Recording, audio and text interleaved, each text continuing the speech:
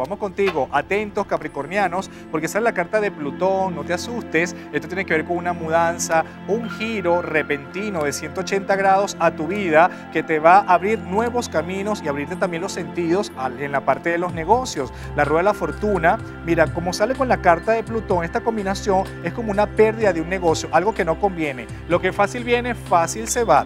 Tiene que tener mucho cuidado con este rey de espada, que es una persona utilitaria, que quiere aprovecharse de ti, de tu buena fe o de tu conocimiento, tener mucho cuidado que no digas todo lo que sabes ni cuentes todo lo que tienes. Ya sabes, este refrán es para ti. Y hablamos un poquito del sistema circulatorio, el corazón y en la pareja sale que ama a esa persona, porque esa persona está esperando como que tú termines de quitar esa desconfianza. Si te hirieron en el pasado, eso ya ocurrió. La persona que está en el presente no tiene culpa de eso que te hicieron, así que trata de pasar la página para que escribas una nueva historia en tu vida. Así que un toque de luz para ti.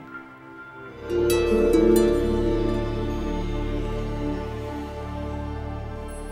Y la carta que te corresponde es la carta de la flexibilidad. Fíjate que son como unas ondas, así como color violeta. Y ese color violeta te ayuda a transformar, pero sobre todo a adaptarte a los cambios, porque esos cambios tienen que ver con esa energía de ser maleable, esa capacidad este camaleónica de transformarte y adaptarte a esos cambios que vienen de afuera hacia adentro. Y por eso que es un buen momento para hacerlo en tu trabajo, en tu oficina, con tu familia y ser un poquito flexible y menos rígido contigo mismo y con los tuyos.